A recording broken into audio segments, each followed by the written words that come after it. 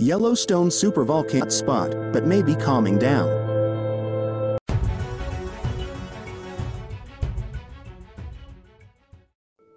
Some researchers interpret the new timeline of some of the formation's largest eruptions as evidence that its activity is waning. The volcano beneath Yellowstone National Park is one of the largest volcanoes on the planet and has a history of producing large eruptions.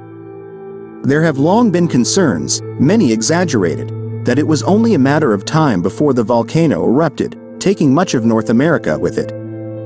But new research, published this month in the journal Geology, suggests that this volcanic threat may be losing steam, and you don't need to worry too much when you read viral headlines about supervolcanoes in the western region.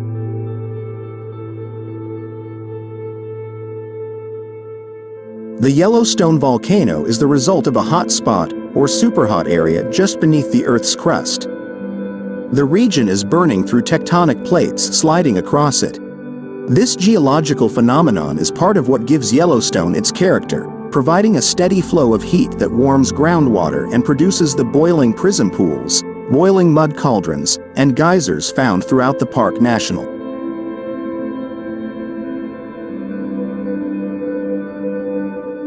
Unfortunately, ancient hotspot eruptions on continents are much more difficult to study than similar eruptions occurring in the ocean because they are more explosive.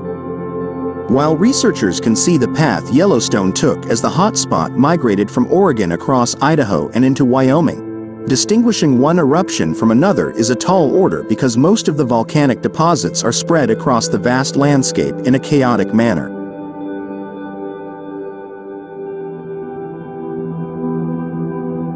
My predecessor thought these messy deposits might be related, but no one was sure, said Thomas Knott, lead author of the study and a geochemist at the University of Leicester in England.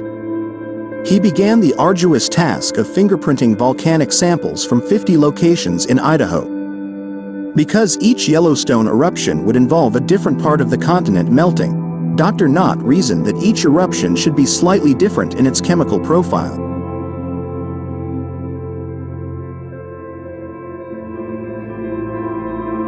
Gain further resolution beyond chemical analysis, his team looked at paleomagnetics. Because the iron from the hotspot was molten when ejected, it was oriented toward magnetic north when it erupted, and then locked in place as it cooled. Because magnetic north has moved throughout Earth's history, Dr. Knott was able to determine when this iron erupted.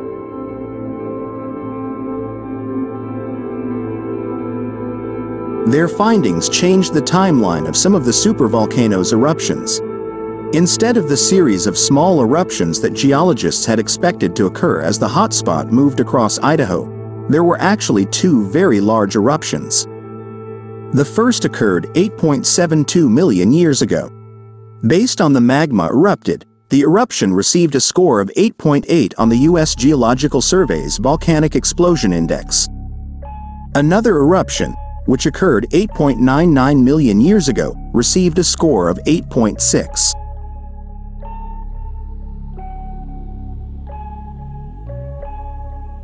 Considering that the index is not higher than 9.0 and anything above 8.0 falls into the mega-colossal category, it is certain that this is a super eruption, said Dr. Knott. What his research means for the future of Yellowstone has sparked great debate. Dr. Knott argues that these newly identified supereruptions represent hotspot activity that diminishes over time. Between 6 and 11 million years ago, Giant eruptions used to occur quite frequently, approximately every half a million years. However, his findings suggest that, since then, such eruptions have become less frequent, occurring about every 1.5 million years. Kari Cooper, a geochemist at the University of California, Davis, is skeptical.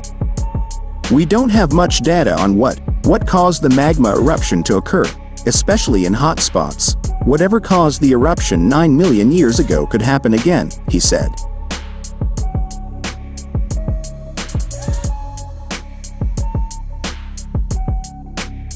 However, for others, Dr. Knott seems logical. It makes sense that Yellowstone would weaken as it leaves the relatively thin western crust and moves toward the thicker central part of the continent, says Michael Poland at the Yellowstone Volcano Observatory. However, other researchers say this interpretation only holds true if you look the most massive eruption, or the really big one, as Kenneth Verosub, also of the University of California, Davis, puts it.